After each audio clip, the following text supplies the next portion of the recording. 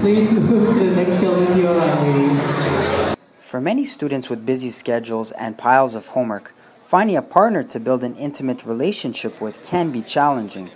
But one on campus event may be just what these students are looking for. It's called speed dating and it took place at the USU ballrooms.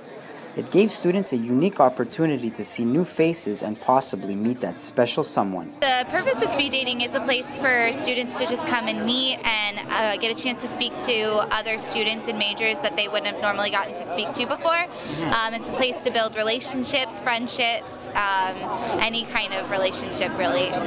The principal idea of speed dating may be to help connect people in a lasting relationship, but that may not be the main focus for all participants. Just to get to know people. I mean, like as a grad student, uh, you don't get to get out of your, uh, the library all that often, so it's nice to actually like meet people and uh, get out on a weeknight. Yeah. Even though these speed daters haven't found the right person yet, many know the qualities and characteristics they look for in a partner.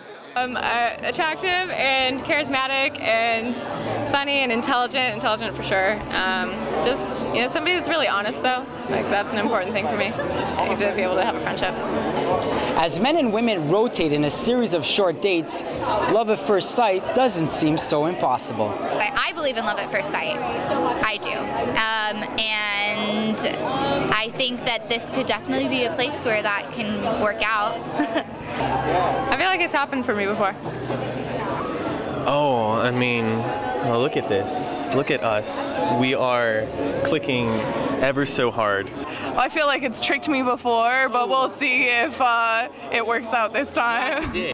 One thing speed dating may have in common with a Disney cartoon is its fairy tale endings. I have heard that there are some couples that have met here. Um, there, I know that there are a lot of friendships that have started here, and I'm, I'm sure that there will be some to come from the future. So, At the USU ballrooms, Matthew Sousa, Beach News.